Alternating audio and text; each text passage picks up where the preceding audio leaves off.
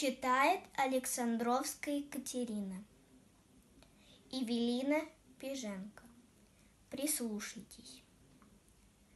Прислушайтесь к звенящей тишине очередного мирного рассвета, когда в преддверии молодого лета и мысли не приходят о войне. Вглядитесь в эту небо глубину и в эту ширь просторов поднебесных. Ну как здесь может быть кому-то тесно?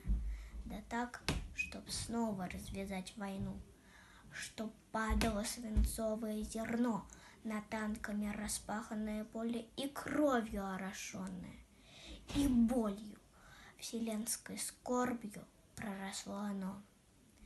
Давно земля пропитана дождем, Где отголоски отгремевшей битвы Теперь звучат за здравную молитвой Всем тем, кто мирным временем рожден. Склонитесь, люди! Через времена не предавайте вечному забвению, Неся из поколения в поколение Из уст в уста погибших имена.